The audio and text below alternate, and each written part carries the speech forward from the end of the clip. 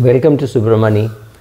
Uh, recently, I had uh, a meeting with a friend and his uh, wife, and it led to a very interesting conversation. So, his wife wanted to buy some jewelry for uh, about 15 lakhs or maybe 20 lakhs. Uh, there was no great occasion or anything, but uh, she wanted to buy that jewelry.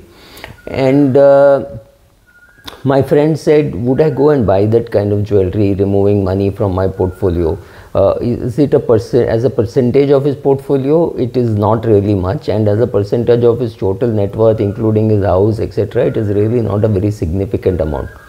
Uh, but would he want to sell some shares and buy jewelry for his wife worth even uh, say half a percent of his portfolio or one percent of his portfolio extremely doubtful. And even his wife was uh, i was not i'm not very sure whether she was serious about it. She just spoke about it in passing. And that was at the beginning of the conversation. We had met for lunch and uh, it was a longish uh, 2 3 hour kind of lunch. And uh, so the question to ask is, uh, would I go and buy, now putting myself in uh, the his position, uh, would I go and buy myself a new uh, Canon camera, say Canon R3 mirrorless, which costs approximately 5 lakhs of rupees? Uh, and would I would I go and buy it? Can I afford it? The question is not whether I can afford it. The question is whether I justify it. Whether I myself think that I take photographs worth uh, using a camera of that price or is it just an ego kick that I want to buy an R3 because somebody else has bought? Is it peer pressure?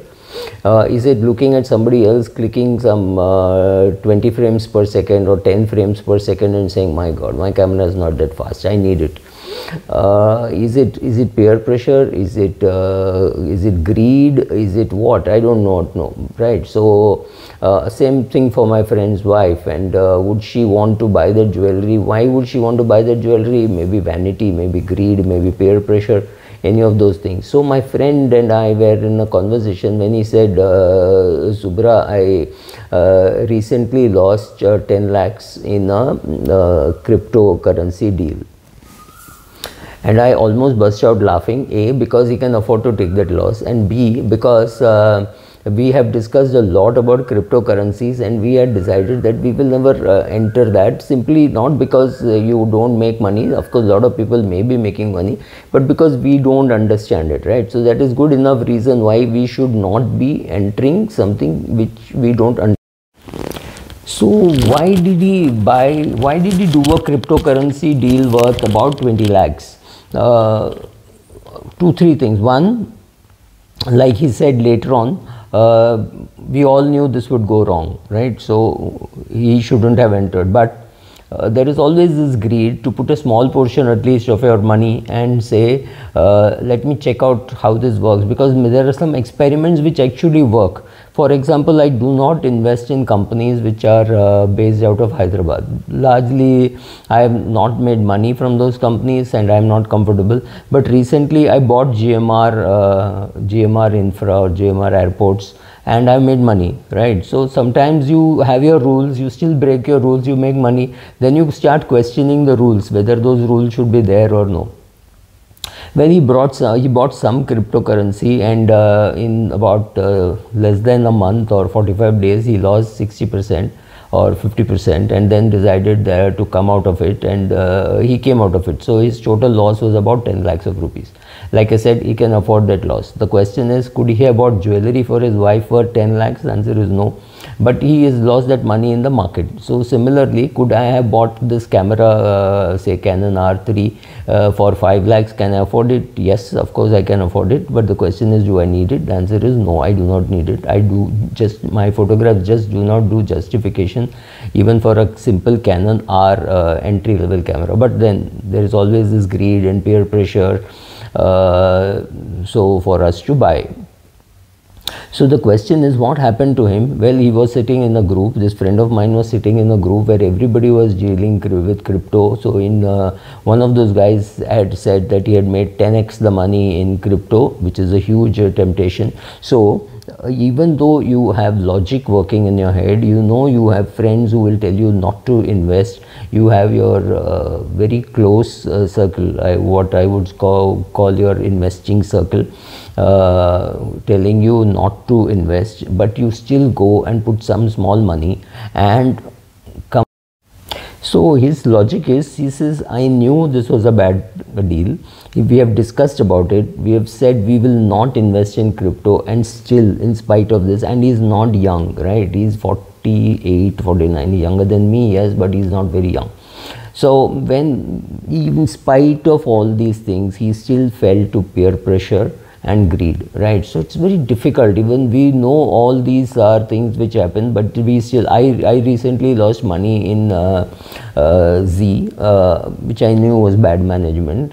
But there was this uh, feeling that Disney would take it over, or Sony would take it over, or in the worst case scenario, Jio would take it over. Somewhere that thing.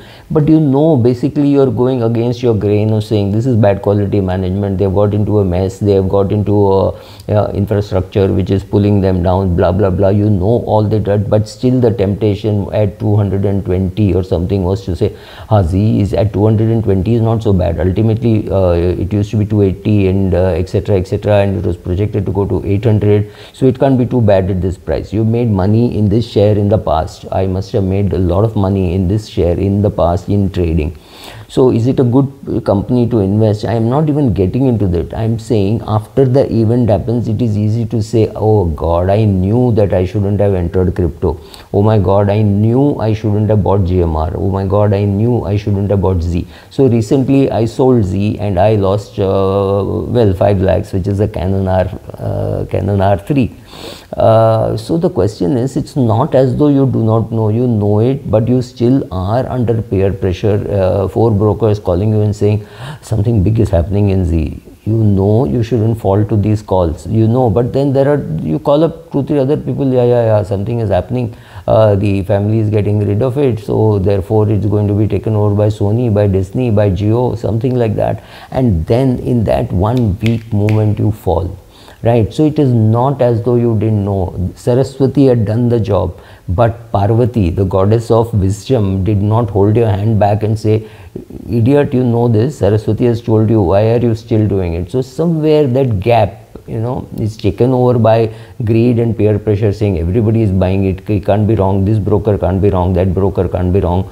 Uh, so let me also buy it. Oh it's fallen to 176 let's average but I recently got out at uh, about 200 uh, and I lost a packet. yes, I could have bought a Canon R3 with that. so the important lesson is even for experienced people, what really happens? What really happens is suddenly people wake up and say, oh my God, this is wrong. Uh, ultimately, this should not have been done. The cash flows do not justify the price, right? Oh, the uh, ad revenues are falling in television. Didn't you know that Zee will produce bad results because ad revenues are falling? Uh, all the advertisement is going to OTT. Don't you see it? Don't you see that you don't switch on the television, or even if you do switch on the television, it is to watch some OTT? it is not really to watch some channels when was the last time you watched a channel other than cricket or something like that we don't. We have shifted. We have shifted to so it's all visible. But why was it not visible when Zee was 224 I have no clue, right? So these kind of things do happen. We make mistakes. Greed takes over, peer pressure takes over. Are Subra, you're not in crypto. How come you're not in crypto? So your group of five people, uh, four of them already put money in crypto. They're all claiming that they made uh, 100% in a year, 200% in a year, 1000% in two years, whatever. All those big numbers, and suddenly you say, okay, how much can I lose if I put 20 lakhs? Maximum I can lose is 10 lakhs because by the time I'll come out. So can I take a 10 lakh rupee risk? Yes, but was it risk or was it, was it stupidity? It's very difficult to find out because there are some times when you break some of your rules and make money. So will I, am I saying that I will never again lose money? No, I'm not saying that. Somewhere greed, peer pressure, something will take over. All the friends will call up and say, are you mad? Why are you not buying this? And then you start looking, you read your rules, you talk to people in the field and you say, oh, it's not too bad. Let me put, let me put some money. So uh, you, you keep looking at things and saying, okay, when will I learn? I don't know when we will learn because uh, when Galileo said the world is round or uh, India said it is Bhugol, people didn't accept it people accepted it much later so similarly when a company is overvalued you can be overvalued for a long period of time. Anil ambani i still remember anil ambani group of companies. I never touched it. I thought the cash flow never justified the market cap. So i never touched it. I never made uh, money nor did i make any losses. Uh, for me cash flow was very important. And there was not enough cash flow for me to buy any of uh, the shares. Even uh, reliance uh, uh, Reliance Nippon Mutual Fund. I wouldn't touch it till uh, ADAG Group got out of it. So some of those rules uh, I made, I stuck to it, uh, but some of the rules you yourself break, and you then look at the logic and say, what is the logic in this price being so high? But you can't really spit against the wind. The, the problem is we all make mistakes uh, and then uh, the market wakes up together. That is the problem. It's like, you know, people come in, it's like a, I keep saying this is like a theater. Uh, people come in one at a time and they, the movie is on. Uh, people may come late, people may come on time, it doesn't really matter. But when the movie is over, everybody leaves. So we all went and bought uh, cryptocurrency and then we all lost money in cryptocurrency. So somebody entered early and they lost less. Uh, somebody entered late and they lost more. So that that is a fact of life, right? So uh, you have to have tremendous amount of discipline or the set of rules or saying unless these two people uh, clear it uh, one is my wife and one is my friend. Unless both these people clear it and i have uh, and my wife knows these are the rules of investing so she will check and say is this true? Is this true? Is this company uh, really well managed? Uh, are you happy with the choice of auditor? Are you happy happy with the board of directors? Some simple five questions if she asks those questions and you say yes then you talk to another friend who asks more difficult questions is uh, is the free cash flow really justified? Will it really make free cash flow this year? Uh, right so the question is these questions also. Then slowly you come out of it and buy but yes we will continue to make mistakes and we should laugh at it. And we know that we will make mistakes and we know that when we enter the transaction we know there is risk. We know that there you could lose money. And therefore you say okay i entered cryptocurrency with 20 lakhs uh, and uh, at 10 lakhs i decided that's enough. I can afford to lose uh, 20 lakhs but i decided that 10 lakhs is the loss that i want to take in it so the question is, uh, will you go and splurge money on a luxury product? Maybe no. Will you lose more than that in single transactions in the equity market? I will. So how do you explain all this? Because ultimately a 5 lakh loss is a 5 lakh loss. Whether it is 5 lakh for buying a luxury item which you may not be able to justify the usage or whether you buy a share and uh, lose uh, 5 lakhs. It's the same 5 lakhs out of your net worth 5 lakhs is gone. How do you reconcile all this? That is a challenge in investing and in life. Thank you. So, what did I learn from my uh, experience in Zee? Right, ultimately, you make uh, money, but uh, there has to be some learning also. So, what did I really learn from this? really, not much. I knew I shouldn't have done it so I think before I go and do something like this next time, uh, I will go and splurge some money saying, okay, itna to paisa maine bacha liya. Uh, so I, I'll go and buy, self, buy myself a nice good camera with nice good uh, chip. Uh, even those chips are so expensive considering that if you want fast chips, they cost you few thousands. Uh, the question is I'll indulge myself and say, okay, if I had put this money in Zee, I would have lost more. So I put only 20 lakhs in Zee instead of 25 lakhs. That 5 lakhs is here sitting with me, nice camera, and uh, hopefully I will use it better.